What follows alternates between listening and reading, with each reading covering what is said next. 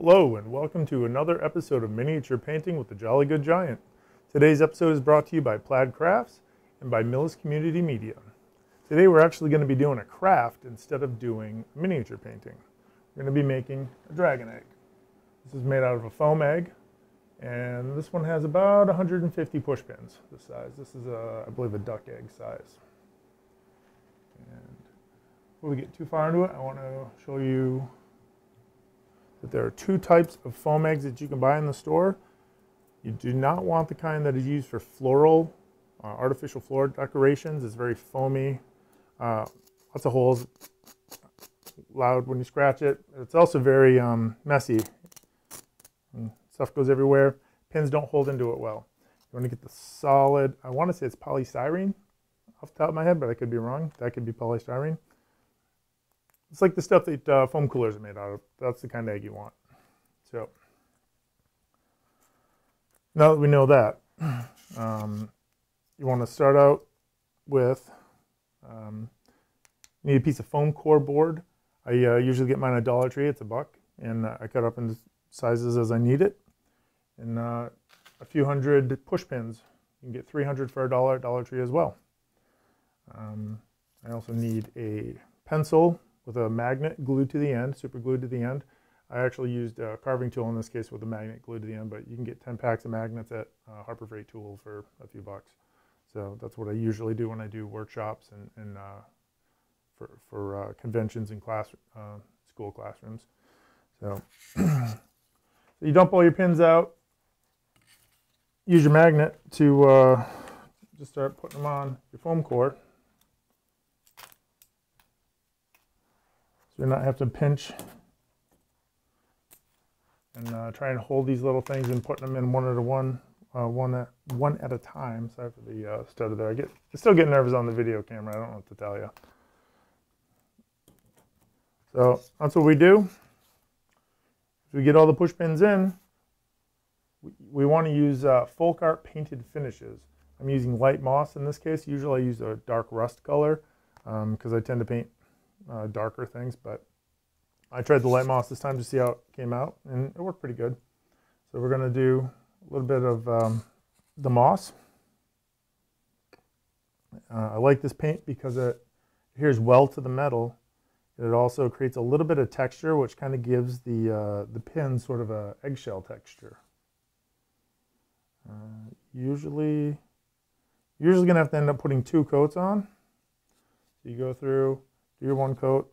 You can either let it sit to dry, or if you have a hair dryer or a hand dryer or something, that you can um, gently blow on it. It'll dry it quicker. A small fan, something like that. Um, after you get your first coat on, you apply your second coat. That usually covers any reflective metallic left over from the pin. Clean my brush off. Uh, for this egg that we're going to do today, I decided to go with uh, blue topaz. So I have the uh, Folk Art 651 Blue Topaz. It's a metallic paint. So on the ones that the texture is finished there, I'm just going to paint this. And this one's a little lighter, so I might need to do two coats on this one as well. Or you can let a little bit of the green show through. It's up to you. It's a cool effect either way. And then we let that dry or use the same thing. Use the hair dryer or a small fan. Uh, I don't have any examples of it here, but I also used um, Folk Art 6314 Nickel, which is also a metallic paint, but this one's a multi-surface paint right here. And um, still metallic, but uh, not quite as bright. So it offsets the blue a little bit. It's like a, I feel like it's going to look pretty well together.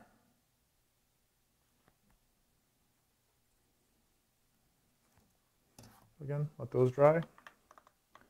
Now when your colors are dry all the way, sometimes I like to add a little bit more to it using either color shift or the, uh, the color shift uh, dragonfly glitter. I have the uh, violet blue green over here and I've also got the blue flash. I actually really enjoyed the blue flash color shift paint. Gives it, uh, depending on the angle that the light's hitting it from, it could look anywhere from purple to blue or red. It, it, it's just really cool. Um, effect. I'm going to put a little bit of the um, dragonfly glaze on here. Now, when you put it on, it's going to look like it's just glue with, basically glue with glitter and is what it looks like. But once that, uh, the, the white stuff dries up, you just have the glitter and it's just, it's really cool. It's a really nice effect.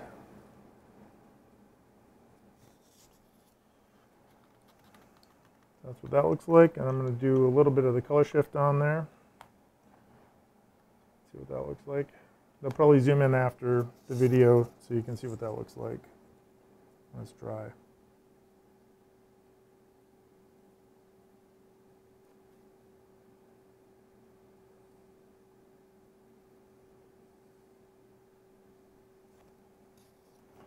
So those, that's how I uh, paint my thumbtacks. So make sure I clean my brush real well.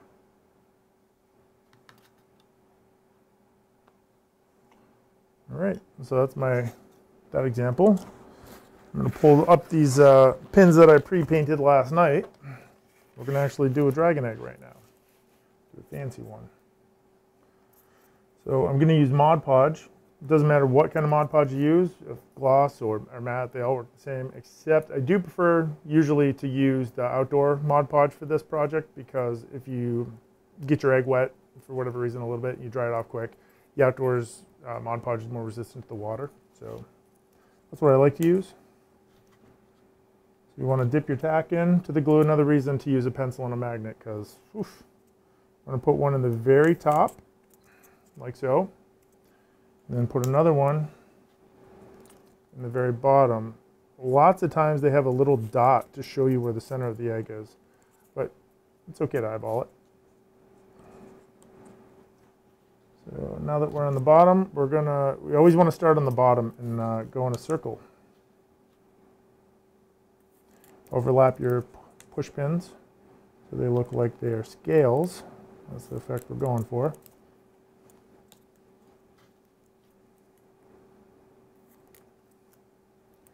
Another good thing about this kind of styrofoam is if you don't get a lot of Mod Podge on the tip of every uh, thumbtack, this kind of foam kind of pushes together, uh, the pressure from all the thumbtacks kind of push together and help keep them all in place.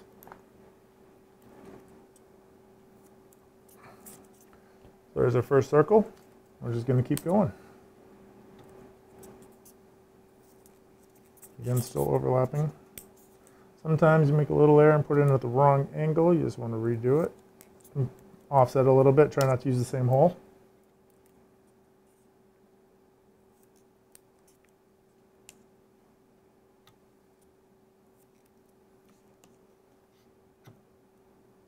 If you were to try to do this by hand, which I've done before I figured out the pencil and uh, magnet trick, it would take you a lot longer and you'd have some really cramped up uh, fingers.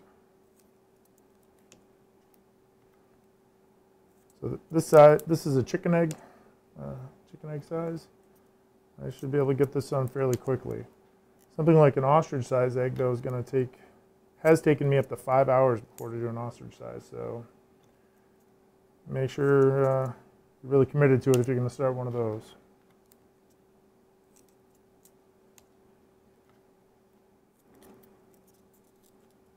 Every now and then you want to just stop and kind of push in your thumbtacks and make sure there nothing is loose. Everything's pushed in all the way.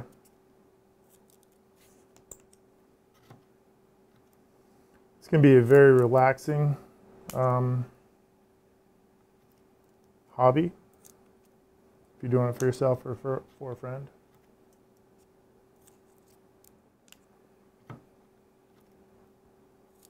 I've done this workshop at uh, MomoCon and at MultiverseCon, both in Atlanta in the past. I expect to do them in the future when uh, conventions are up and running again. So if you're ever at one of those events, uh, look for Jolly Good Giant or Paul Sims, and you can probably find me and I can be happy to talk to you about it or miniature painting, anything.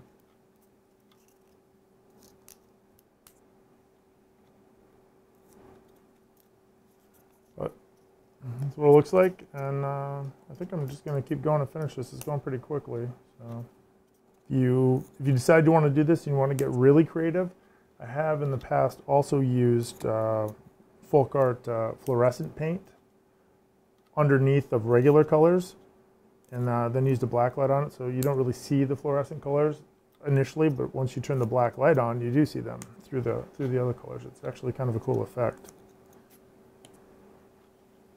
but I do not have an example of that today. In that case I put the thumbtack down a little too far into my cup. Just want to pat away any uh, extra glue my thumb. Make sure I don't have anything on my magnet. I'm going to show you when I'm done the difference between just doing plain thumbtacks, doing some, taking a little extra time to paint them up. Especially using the, uh, the finished uh, finishes, painted finishes rather. Big fan of that product.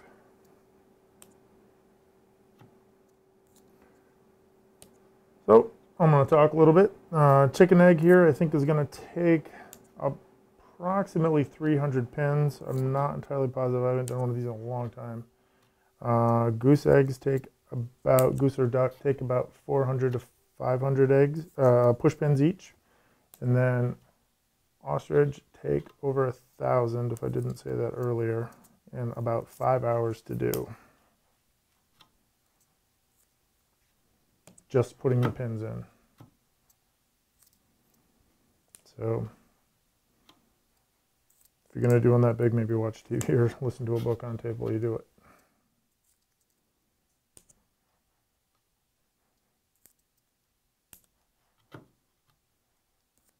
Move my cup of water so I don't spill it.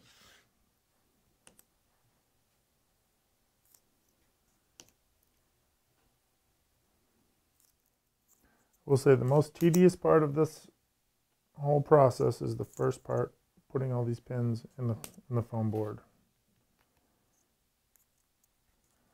So if you can get past that, it's worth it to get all the way to the end.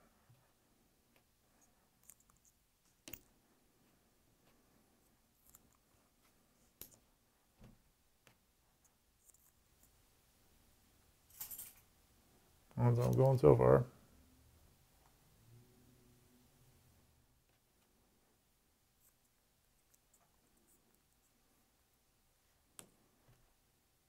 It's important to keep going in a circle too. I've had uh, younger kids in some of my workshops, or uh, when I've gone to my uh, children's elementary school to do this project with their classes.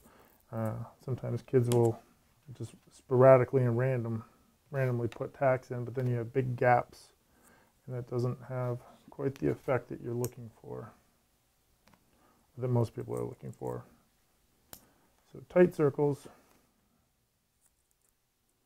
And I also wouldn't recommend using uh, any egg smaller than a chicken size egg. Even a chicken size egg gets kind of tight. And um, because it's so small and compact, it's got to deal with the curve of the pins. So I usually like to do a duck size or a goose size.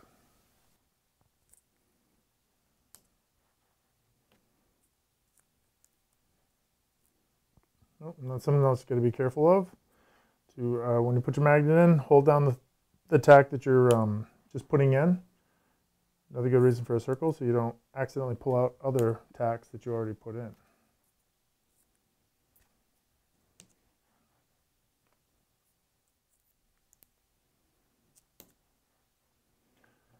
Also, this is not a toy. This is not something um, anyone with probably uh, eight or nine years old should be uh, handling. And this is meant to be a decoration put up on a shelf. I have seen kids toss these around, unfortunately, and they start coming apart and need uh, push pins start going everywhere. You don't want that to happen.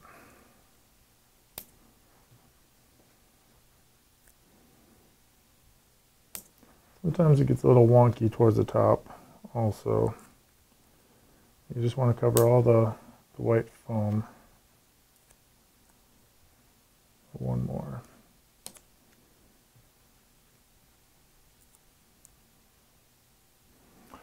And there's a dragon egg. Compare them side by side.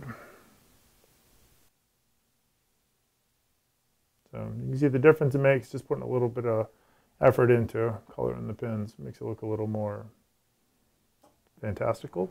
Is that a word? I don't know. Anyway, so that's our video for today. Uh, thanks to our cameraman Zach. He did an awesome job. And have a great evening.